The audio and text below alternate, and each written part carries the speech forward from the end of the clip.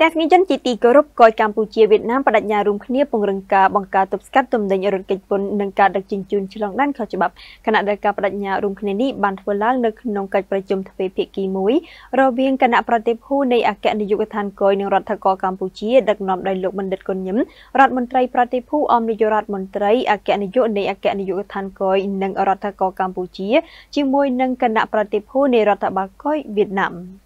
គណៈប្រតិភូនៃអគ្គនាយកដ្ឋានកយនិងរដ្ឋកោកម្ពុជាដឹកនាំដោយលោកបណ្ឌិតគុណញឹមរដ្ឋមន្ត្រីប្រតិភូអមនាយករដ្ឋមន្ត្រី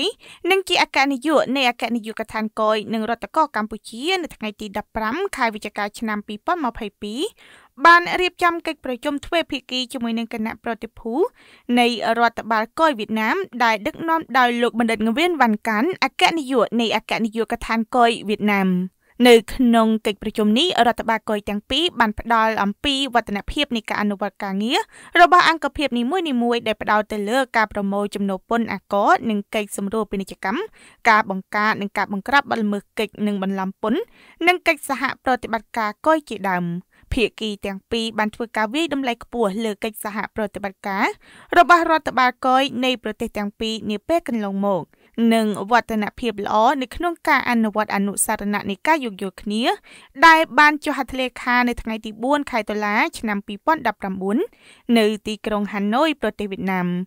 និងកំណត់ហេតុប្រជុំទ្វេភាគីរវាងរដ្ឋបាលកុយទាំងពីរកាលពីខែមីនាឆ្នាំ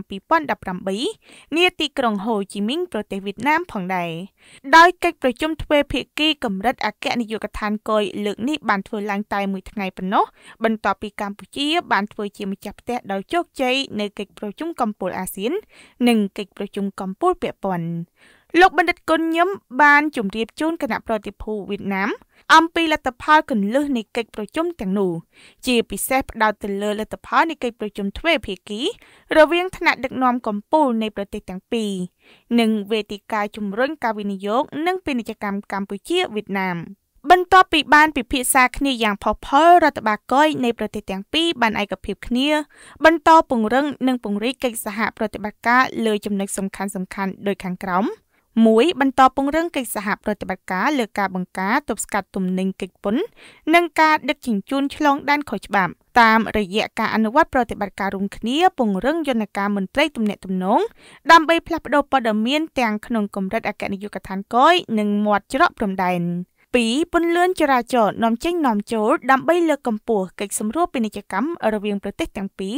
ហើយភាគីវៀតណាមបានយល់ព្រមលើការសម្រួលឲ្យបានជាអតិបរមាលើការដឹកជញ្ជូនទំនិញឆ្លងកាត់ប្រទេសវៀតណាម